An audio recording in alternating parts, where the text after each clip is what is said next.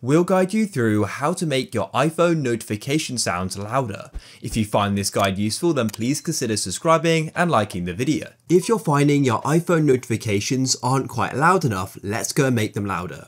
So all you need to do is go and open up your settings like this, and then you need to scroll down until you see sounds and haptics and go and click here. So it's important to note that there are either two different options you may have selected. If change with buttons is enabled, this means the volume that your iPhone is set to is going to be the volume that your notifications are. So for example, let's say you're watching a video and your volume was down here. This means your, your notification volume will also be down here.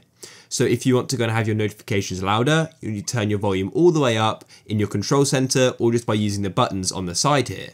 So what I prefer to do is turn off change with buttons and then what you can do is just drag this all the way up to max volume like that and that is as loud as you can make your notifications as possible. As I said before you can just have change with buttons switched on and then increase your volume all the way but if you're watching a video or listening to music you want to turn it down. So that's why I think it's best to turn off change with buttons and then manually increase it here. And that's it. If you guys found this useful then please consider subscribing and liking the video.